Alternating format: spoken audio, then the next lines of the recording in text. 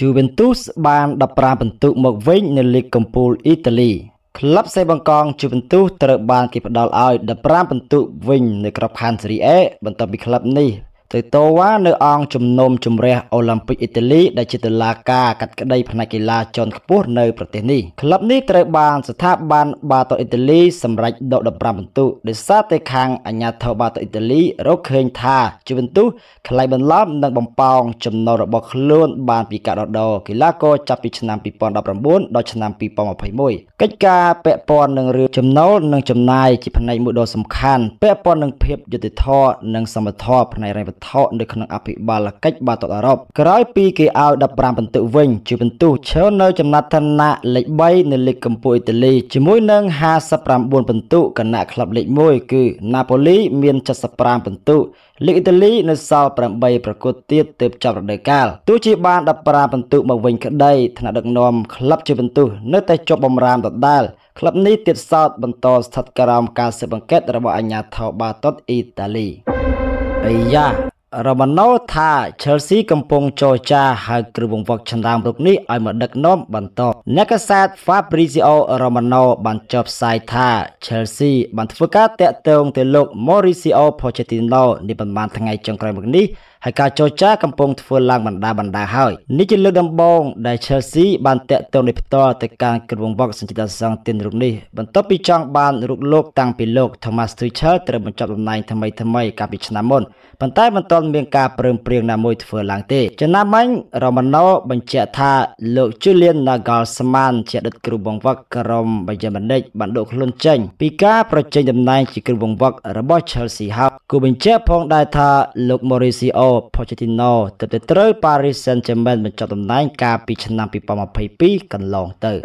Zores បង្ហាប់ថាតារាឆ្នាំ PSG រូបនេះនឹងវិលត្រឡប់មកបាសាវិញខ្សែប្រយុទ្ធ Luis Suarez បានបង្ហោះរូបភាពភ្ជាប់ជាមួយសារមួយនៅក្នុងគណនីបណ្ដាញសង្គម Instagram ឲ្យតម្រុយថា Lionel Messi ដែលជាអតីតមិត្តរួមក្រុមនឹងវិលត្រឡប់មកក្លឹប Barcelona វិញ Messi បានចាក់ចែងពីទឹកដី Camp Nou កាលពីឆ្នាំ2021បន្ទាប់ពីបានបង្កើតសមិទ្ធផលជាច្រើនជាមួយក្លឹបដោយសារពុំអាចបន្តកុងត្រាថ្មីបានហើយផ្លាស់ទៅក្លឹប Paris Saint-Germain ដែលចុះកុងត្រាចំនួន2រដូវកាលឥឡូវនេះកុងត្រារបស់ Messi ជាមួយ PSG នឹងផុតកំណត់នៅខែមិថុនានេះហើយស្របពេលម្ចាស់ពានបឡុនដ័រ7សម័យរូបនេះ កំពុងស្ថិតក្នុងការចរចាកុងត្រាថ្មីជាមួយក្លឹបអ្នកមាននៅបារាំងវិញនេះប៉ុន្តែប្រធានក្លឹបបាសេឡូណាគឺលោក John Laporta គឺបានបង្ហើបប្រាប់អ្នកគ្រប់គ្រងដោយផ្ទាល់មកថានឹងយក Messi ត្រឡប់មកវិញដែល like ថ្មីថ្មីនេះ Zores ស្ទើរតែបង្ហោះរូបភាពរបស់ Messi និងរូបគេការលេងនៅបាសេឡូណាជាមួយសារមួយថាសញ្ញាព្រួញមានពាក្យ back at Leo Messi នរណាខ្លះ រនីបានចុចឈ្មោះ4អ្នកនេះថាជាបុគ្គលដ៏អស្ចារ្យបំផុតប្រចាំប្រវត្តិសាស្ត្រ Manchester United លោក Veroni បានចុចឈ្មោះអតីតបុគ្គលសំខាន់របស់ Manchester United 4រូបនេះថាជាបុគ្គលដ៏អស្ចារ្យបំផុតនៅក្នុងប្រវត្តិសាស្ត្ររបស់ក្រុមបេសាយក្រហមក្នុងចំណោមបុគ្គលទាំង4ដែល Rooney ជ្រើសក្នុងនោះរួមមានលោក Sir Alex Ferguson, Ryan Giggs, George Best ហើយក៏មានឈ្មោះរបស់ Cristiano Ronaldo ផងដែរ នៅពេលគេឲ្យជ្រើសរើសបុគ្គលដ៏អស្ចារ្យបំផុតនៅក្នុងប្រវត្តិសាស្ត្ររបស់ Manchester United លោក Rooney បានឆ្លើយប្រាប់សារព័ត៌មាន CBS យ៉ាងដូចនេះថា Sir Alex ប្រកាសជាស្ថិតនៅក្នុងនោះខ្ញុំក៏ថា Cristiano Ronaldo ក៏ស្ថិតនៅទីនោះ Ryan Giggs និងប្រហែលជា George Best ចាប់បាត់ ដោយសារមូលហេតុនេះស្លាតាននឹងមិនមានសិទ្ធិទទួលបានមេដាយ UCL ទេករណីបើ AC Milan អាចឈ្នះជើងឯកក៏ដោយខ្សែប្រយុទ្ធចាស់ភាសាស្លាតានអ៊ីប្រាហ៊ីម៉ូវិកនឹងមិនអាចទទួលបានមេដាយ Champions League ឡើយទោះក្នុងករណីដែល AC Milan អាចឈ្នះពានរង្វាន់កម្ពុជារបស់អឺរ៉ុបមួយនេះរដូវកាលនេះក៏ដោយជាការពិតណាស់ AC Milan គេបានទទួលកៅអីឡើងមកកាន់វគ្គពាក់កណ្ដាលផ្ដាច់ប្រវត្តិនៃពាន UCL ហើយក្រោយពួកគេយកឈ្នះក្រុមណាប៉ូលីនៅវគ្គ8ក្រុមចុងក្រោយដោយសរុបលទ្ធផលទាំងពីរជើង2ទល់1ហើយជំហានបន្ទាប់ពួកគេនឹងត្រូវជួបគ្នាជាមួយក្រុមរួមលីក Inter Milan នៅវគ្គពាក់កណ្ដាលដោយប្រត់យ៉ាងណាមិញសម្រាប់ក្រុមដែលមានប្រវត្តិដ៏ចំណាស់មួយនេះក៏កំពុងមានឱកាសឈ្នះពាន UCL នៅរដូវកាលនេះផងដែរក្រោយខកខានតាំងពីឆ្នាំ2007 ប៉ុន្តែបើយើងរលែកមកមើលស្លាតានដែលជាខ្សែប្រយុទ្ធស្នូលរបស់ AC Milan វិញគាត់អាចនឹងមិនទទួលបានមេដាយពីដ៏ធម្មនេះបានទេទោះ AC Milan អាចក្លាយជាជើងឯកក៏ដោយព្រោះដោយសារតែ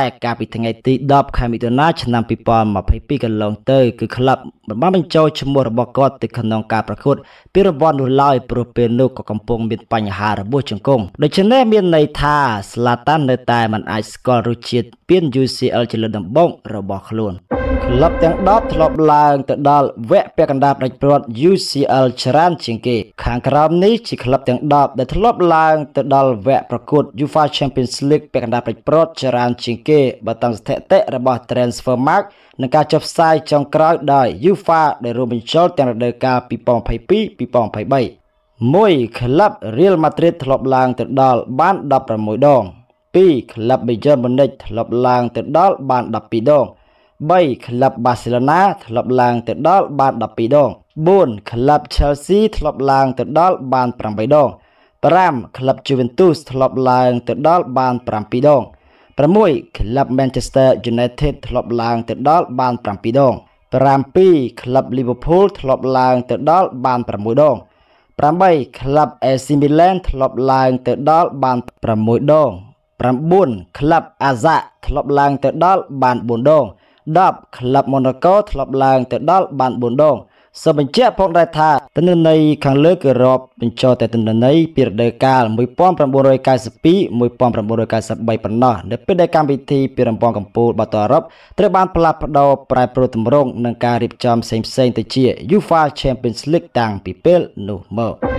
នៅតែទុកចិត្ត លោក Ten Hag ថាម្នាក់នេះនឹងមិនបាត់បង់កៅអី11នាក់ឡើយទោះចាញ់ Sevilla ដល់ទៅ3គ្រាប់ក៏ដោយអ្នកចាត់ការទូទៅក្លឹប Manchester United លោក Erik Ten Hag នៅតែមានទំនុកចិត្តលើអ្នកចាំទី David De Gea ដដែលទោះបីជាក្នុងការប្រកួតទល់នឹង Sevilla គេធ្វើមិនបានល្អក៏ដោយជាការពិតណាស់កាលពីយប់ថ្ងៃទី21ខែមេសាកន្លងទៅនេះ Manchester United បានរងបរាជ័យក្រោមធ្វើជើង Sevilla ក្នុងលទ្ធផល3ទល់0 និងសរុបទាំងពីរជើងចាញ់5ទល់នឹង2ហាល់អាវត្រឹមវគ្គ8ក្រុមចុងក្រោយនៃពានរង្វាន់ Europa League គណៈក្នុងការប្រកួតនេះដេហៀបានសាងកំហុសមិនអាចទទួលយកបានទាំង3គ្រាប់តែម្ដង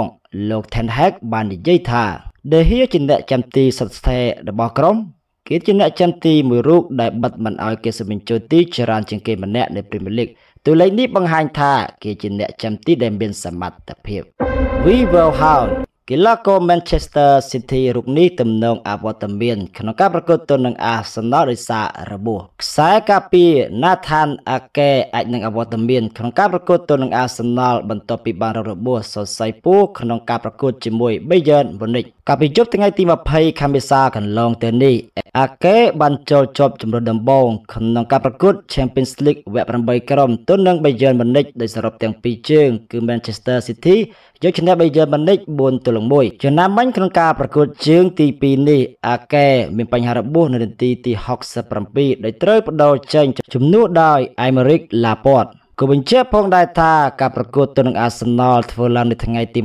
27ខែមេសាខាងមុខនេះ Manchester United គ្រងនឹងរុះរើខ្នាតធំដាក់លោកកីឡាករ15នាក់នេះចេញក្រោយចប់រដូវកាលនេះក្លឹប Manchester United ត្រូវបានជរាការគ្រងនឹងដាក់លោកកីឡាករនៅលើទីផ្សារដល់ទៅ15នាក់ក្រោយចប់រដូវកាលនេះជាការពិតណាស់ការរៀបចំផែនការលោកកីឡាករដ៏ច្រើននេះបានធ្វើឡើងបន្ទាប់ពី Manchester United បានរងបរាជ័យយ៉ាងធ្ងន់ធ្ងរក្នុងលទ្ធផល3-0 ក្រោមស្នាដៃសេវីឡាធ្លាក់ចេញពីពានរង្វាន់ Europa League គណៈលោក Erik ten Hag ចង់ពង្រឹងក្រុមបន្ថែមទៀតតាមរយៈការលក់កីឡាករមួយចំនួនដើម្បីយកប្រាក់ទៅចាយវាយលើការនាំចូលកីឡាករថ្មីថ្មីក្នុងនោះកីឡាករទាំង15ដែលក្លឹបត្រូវបានគេដឹងថានឹងដាក់លក់ក្រោយចប់រដូវកាលនេះរួមមាន អ្នកចាំទី David De Gea, Harry Maguire, Victor Lindelof, Anthony Martial, Aaron Wan-Bissaka, Fred, Donny van de Beek Brandon William, Anthony Elanga, Dean Henderson, Eric Bailey,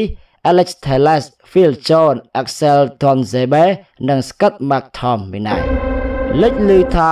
បាសាកំពុងចាប់អារម្មណ៍តារាឆ្នាំ Chelsea ម្នាក់នេះគណៈ Real Madrid ក៏សម្លឹងឃើញដែរ បាសេឡូណាត្រូវបានគេរាយការណ៍ថាចាប់អារម្មណ៍ចង់ទិញយកខ្សែការពារ Reece James ពីក្លឹប Chelsea ខណៈដែល Real Madrid ក៏សម្លឹងចង់បានគេដែរកីឡាកររូបនេះជាតារាឆនើមរបស់ Chelsea ដែលមានតម្លៃខ្លួនខ្ទង់70លានអឺរ៉ូស្មើនឹងប្រមាណ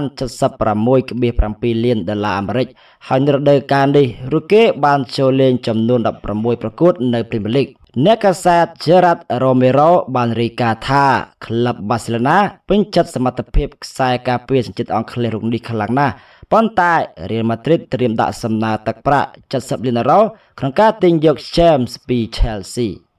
ខៃសេដូសារភាពថាខ្លួនចង់ឲ្យក្រុមមួយនេះលើកពាន Premier League រដូវកាលនេះកីឡាករ Moises Caicedo សង្ឃឹមថាក្លឹបកំភ្លើង Thomas Arsenal នឹងក្លាយជាម្ចាស់ពាន Premier League នៅរដូវកាលនេះកីឡាករសញ្ជាតិ Ecuador រូបនេះបានលេចលើព័ត៌មានថានឹងផ្លាស់មក Arsenal កាលពីខែមករាប៉ុន្តែ Brighton បានបដិសេធមិនលក់គេនោះឡើយខណៈនោះដែរ Arsenal នៅតែបន្តកាន់កាប់កំពូលតារាង Premier League ដោយមាន75ពិន្ទុក្នុងដៃឈ្នះក្រុម Manchester City ឈរនៅលេខរៀងទី2ចំនួន5ពិន្ទុប៉ុន្តែ Manchester City សល់2ប្រកួតទៀតក្នុងដៃ Caicedo បាននិយាយថាប៉ុន្តែខ្ញុំសង្ឃឹមថាពួកគេ Arsenal នឹងឈ្នះពានយើងត្រូវរងចាំមើលទាំងអស់គ្នាសូមអរគុណសម្រាប់ការទស្សនាសូមជម្រាបលា